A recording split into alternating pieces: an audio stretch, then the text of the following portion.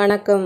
இன்று நாம் இஞ்சி பற்றி பார்க்க போகிறோம். இஞ்சி சாகுபடி செய்ய கோடைக்கால மழை பெய்தவுடன் நடவு செய்ய வேண்டும். இஞ்சியை சிறு சிறு துண்டுகளாக வெட்டி நடவு செய்யப்படுகிறது. இஞ்சி செடியை நீர் தேங்காமல் பார்த்து கொள்ள வேண்டும். இஞ்சி காய்கறிக்காக பயன்படுத்துவதாக இருந்தால் ஆறு மாதத்தில் அறுவடை செய்ய வேண்டும். சுக்கு தயாரிக்க பொதுவாக இருநூற்றி நாற்பத்தைந்து முதல் இருநூற்றி அறுபது நாட்களில் அறுவடை செய்யலாம். அல்லது இதன் இலைகள் மஞ்சள் நிறமாக மாறும்போது அறுவடை செய்ய வேண்டும். இஞ்சியை நன்கு சுத்தம் செய்து தோலை அகற்றி அதன் ஈரத்தன்மை போகும் வரை காய வைத்து சுக்கு பயன்படுத்தப்படுகிறது. இஞ்சி என்பது ஒரு வகையான மூலிகை ஆகும். இவை பல நெடுங்காலமாக விளைவிக்கப்பட்டு சமையலில் முக்கிய பொருளாகவும் மருந்தாகவும் உலகம் முழுவதும் பரவலாக பயன்படுத்தப்படுகிறது. இஞ்சி பச்சையாகவும் காய வைத்தும் மருத்துவ முறைகளில் பயன்படுத்தப்படுகிறது. இஞ்சியை ஜீரண சக்தியை பெருக்குவதற்காகவும் பசியை தூண்டுவதற்கும் உடலின் நுண்ணிய பாதைகளை சுத்திகரிப்பதற்காகவும் சக்தி வாய்ந்த மருந்தாகவும் பயன்படுத்தப்படுகிறது. மேலும் இஞ்சி ஆயுர்வேதத்தில் மூட்டு வலிகளுக்கும் சுவாச பிரச்சனைகளுக்கும் மலச்சிக்கல் பிரச்சனைகளுக்கும் தீர்வாக அமைகிறது.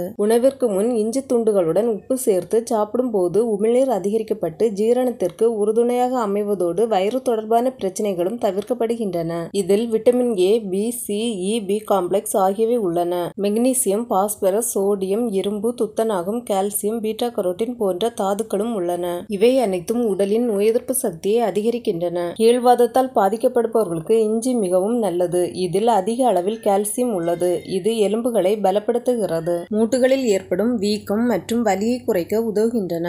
இஞ்சி ஒரு இயற்கை வலி நிவாரணியாகும். இது தொண்டை வலியை நீக்குகிறது மேலும் இருமலை குறைக்கிறது. இஞ்சி கொழுப்பின் அளவை பராமரிக்கிறது மற்றும் இரத்த அழுத்தத்தை ஒழுங்குபடுத்துகிறது. இதன் விளைவாக இதயம் தொடர்பான நோய்களின் அச்சுறுத்தலை குறைக்க முடிகிறது. இதில் உள்ள பொட்டாசியம் ஆரோக்கியத்திற்கு நன்மை பயக்கிறது. இஞ்சி உடலில் இரத்த சர்க்கரை அளவை குறைக்க உதவுகிறது. இது உடலில் சரியான அளவில் இன்சுலினை உற்பத்தி செய்கிறது.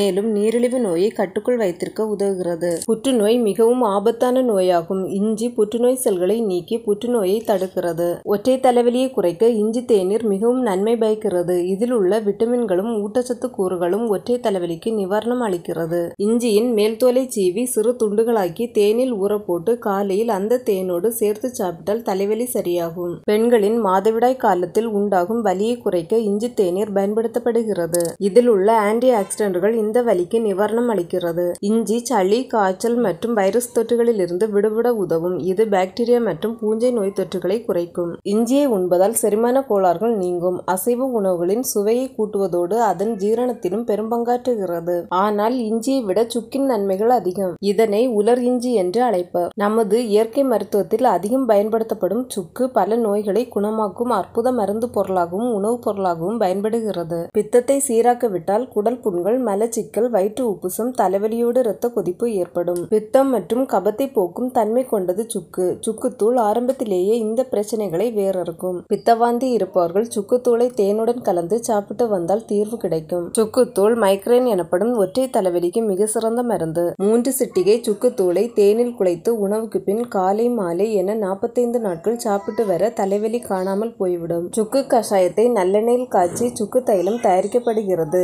இதை தலையில் தேய்த்தால் சைனஸால் வரும் தலைவலி சரியாகும். காதுக்குள் இரைச்சல் கேட்கும் பிரச்சனை காதில் சீல் வரும் நோய் போன்ற பிரச்சனைகளுக்கு சுக்கு தைலம் தேய்த்து குளிப்பது நல்ல பலனை தரும். பல ஆண்டுகளுக்கு முன்பே நியூயார்க் அகாடமி ஆஃப் சயின்ஸ் சுக்கு பக்கவிளைவு இல்லாத தலைவலி மருந்து என்பதை உறுதி செய்திருக்கிறது. சுக்கு கொத்தமல்லி விதை இரண்டையும் சம அளவு எடுத்து காஃபித்தூள் போல் பயன்படுத்தி கஷாயம் செய்து அதனுடன் பனைவெல்லம் சேர்த்து வாரம் ஒரு முறை மாலை வேளங்களில் சாப்பிட்டால் அஜீரணம் பிரச்சனை சரியாகும். அல்லது சுக்கு பொடி ஒரு சிட்டிகை ஒரு வெற்றிலை இரண்டு மிளகு போன்றவற்றுடன் தேன் சேர்த்து மடித்து உணவிற்கு பிறகு சாப்பிட்டு வந்தால் வாய்வு தொடர்பான பிரச்சனைகளை குறைத்து பசியின்மை அஜீரணம் நீங்கிவிடும். சுக்கை தட்டி அதனுடன் துளசி இலை கற்பூரவல்லி இலைகளையும் சேர்த்து கொதிக்க வைத்து அருந்தி வந்தால் குமட்டல் பசியின்மை நீங்கும். சளி காய்ச்சல் ஜலதோஷம் இருமல் இருக்கும்போது வெதுவெதுப்பான நீரில் சுக்குப்பொடி போட்டு குடிப்பதால் சளி மற்றும் இருமல் பிரச்சனைகள் குணமாகும். சுக்கு கிராம்பு ஏலக்காய் கல்உப்பு இவைகளை ஒன்றாக பொடி செய்து பல் துளக்கி வந்தால் ஈர்கள் பலமடையும் வாய் துர்நாற்றம் குறையும். சிறுநீர் தொற்று தொற்று ஏற்பட்டுவிட்டால் பசும்பாலில் சுக்கு தூளையும் நாட்டு சர்க்கரையும் சேர்த்து குடித்தால் சிறுநீரக தொற்று நீங்கிவிடும். சுக்கு மிளகு மல்லி ஏலக்காய் கருப்பட்டி சேர்த்து தேநீர் வைத்து அருந்தி வந்தால் உடலில் உள்ள கெட்ட கொழுப்புகள் கழிவுகள் குறையத் தொடங்கும். உடல் சோர்வு உடல் அசதி நீங்கி ஆரோக்கியம் அதிகரிக்கும். தினமும் சுக்கை பயன்படுத்தும் போது இதில் உள்ள மிகுதியான கால்சியம் மற்றும் மருத்துவ குணங்கள் உடலில் உள்ள இணைப்புகளை வலுப்படுத்தி எலும்பு தேய்மானம் அடைவதை தடுக்கிறது. நன்றி.